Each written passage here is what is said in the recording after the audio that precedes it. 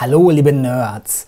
In diesem Video geht es um 10 Dinge, die dem Thema OER untergeschoben werden. OER, das steht für Open Educational Resources. Darüber wird viel diskutiert, aber die Debatten sind manchmal etwas mühselig. Das liegt daran, dass dem Buchstaben O in OER total viel untergeschoben wird, wofür der Buchstabe eigentlich gar nicht steht. Mit OER werden Themen verbunden, die gar keine OER-spezifischen Fragen sind. Hier kommen 10 Dinge, die häufig mit OER gleichgesetzt werden, aber spätestens beim zweiten Blick weder hinreichende noch exklusive Merkmale von OER sind.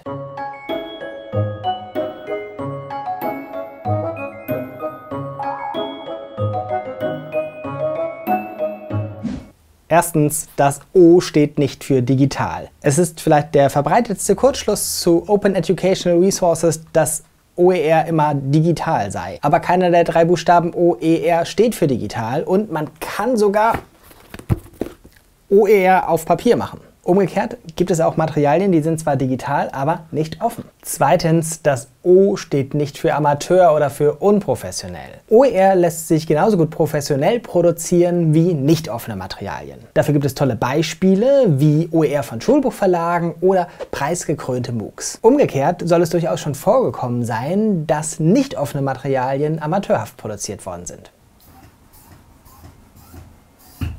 Drittens, das O steht nicht für kostenlos oder für unkommerziell. Man kann mit OER sehr wohl Geld verdienen. Das gilt bei konkreten Materialien, zum Beispiel im Rahmen von Auftragsarbeiten und auch bei Plattformen wie bei Amazon oder bei meinunterricht.de. Umgekehrt kann man unkommerziell arbeiten und seine Materialien zwar kostenlos, aber nicht offen teilen.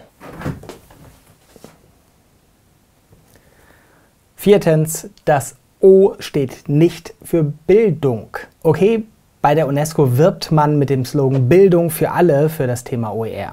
Aber sowohl bei der UNESCO als auch überall sonst, wo ernsthaft über Bildungsgerechtigkeit nachgedacht wird, weiß man, dass zur Bildung mehr gehört als nur Ressourcen, ob sie jetzt offen sind oder nicht.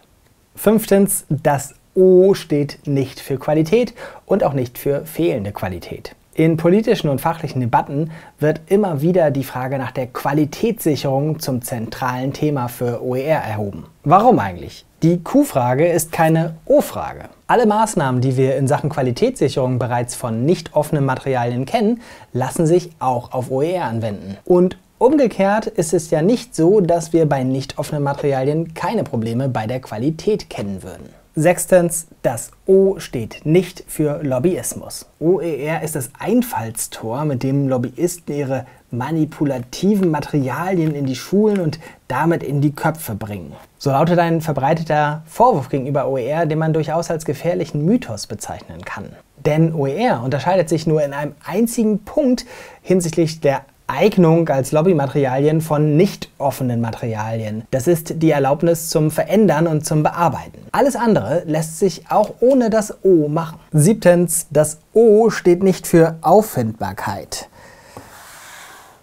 OER-Materialien sind nicht immer ganz einfach zu finden. Das bemängeln sowohl die Theoretiker als auch die Praktikerinnen. Und da ist auch was dran. Aber das ist keine spezifische Eigenschaft von OER im Vergleich zu anderen Bildungsmaterialien. Auch bei nicht frei lizenzierten Materialien gibt es ja nicht so etwas wie ein Zentralverzeichnis.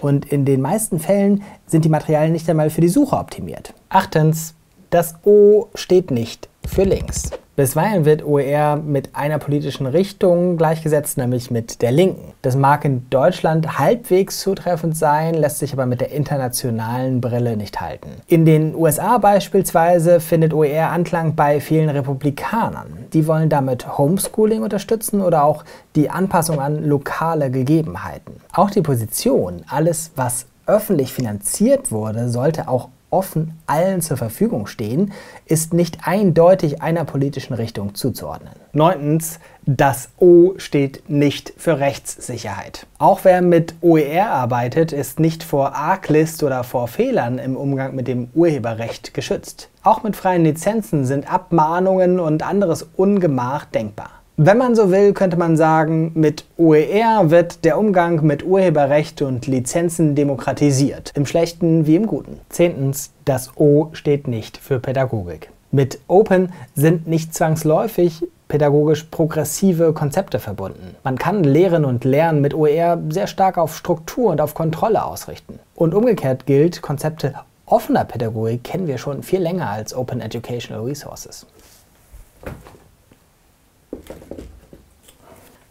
Fazit. In Diskussionen um OER wird das O wie Open häufig mit Eigenschaften besetzt, die mal mehr, mal weniger OER-spezifisch sind. Zu den meisten, gerade vielen kritischen Punkten lässt sich festhalten, an OER werden Anforderungen gestellt, die andere Materialien so pauschal nicht erfüllen müssen. Die tatsächliche Grenze verläuft weder entlang von Digitalisierung, Professionalität, Kosten oder Pädagogik. Das Gegenteil von OER sind nicht analoge oder professionelle oder kostenpflichtige Materialien.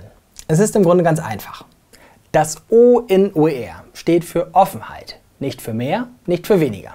Offen im lizenzrechtlichen Sinne. Besser auch noch im technischen Sinne und im Sinne der Barrierefreiheit. Im besten Fall auch noch mit einer offenen Haltung gegenüber der Welt. OER kann hilfreiche Beiträge für eine bessere Bildungswelt liefern. Aber OER alleine ist weder Ursache noch Lösung für alle Probleme rund um Bildung und Bildungsmaterialien.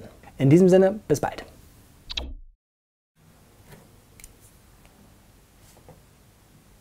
Übrigens, das Gegenteil von OER sind PER, Proprietary Educational Resources.